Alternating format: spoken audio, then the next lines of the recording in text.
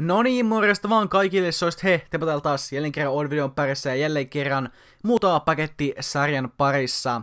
Tässä sarjassa avataan Fifassa niin sanotusti muutama paketti.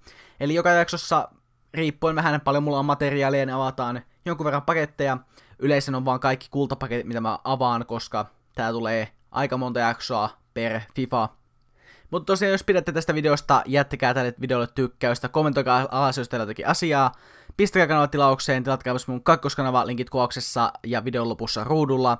Videon lopussa ruudulla myös kaksi videota, jotka voitte käydä katsomassa, jos olette vielä nähneet. Mutta ei mulla muuta, meikä näytä tepa, ja jos vain ensi videoon. Heipää, hei!